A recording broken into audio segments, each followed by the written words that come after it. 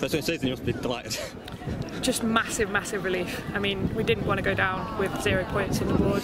That would have been massively embarrassing. So we knew exactly what we wanted to do today. We wanted to come in and get some points and to get all three. It's just a real positive note to end the season on. And um, sort of Emma in a post-match interviews this season almost sounded a bit silly when she keeps saying, "Well, we've not deserved it, not deserved it," but this has been coming, hasn't it? Yeah. Do you know what? I mean, like we weathered the storm today uh, defensively. Like there was periods of time in the game where they were they were on top. They were definitely on top. Um, and weathering those storms gave us a little bit of confidence. And then obviously Catherine took a chance when she got it, uh, clinical in front of goal, which is what we've been saying all season. And also I think we could have had like three or four because Mary Earps has had an absolutely stunning game. She pulled off like three or four absolute worldy saves there. Um, so it could have been a few more, I think.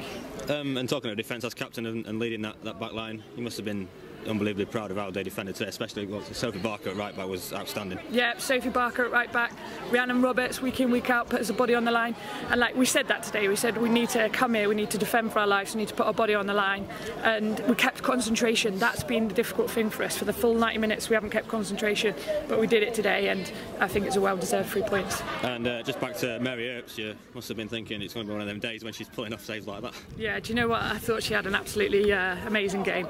Um, she's pulled off like three or four really, really good quality saves. Um, so disappointing for us to not get more, but uh, really good performance for her. And uh, I mentioned to uh, I mentioned Emma in an interview there about sort of the likes of Sam Tierney in there, who's probably the youngest player on the pitch today, and probably the coolest head in there, and, and she was outstanding. It's, it's something to build on for next season uh, with, with, the, yeah, with the agent squad. Sammy T, she's like developed this season as well. She's been put in different roles. She's obviously played alongside me at centre half. She's been in the, um, in central midfield, like that holding role, and she's just developing all the time. She's a really bright future ahead of her and a, a young talent that the Belles will look to develop.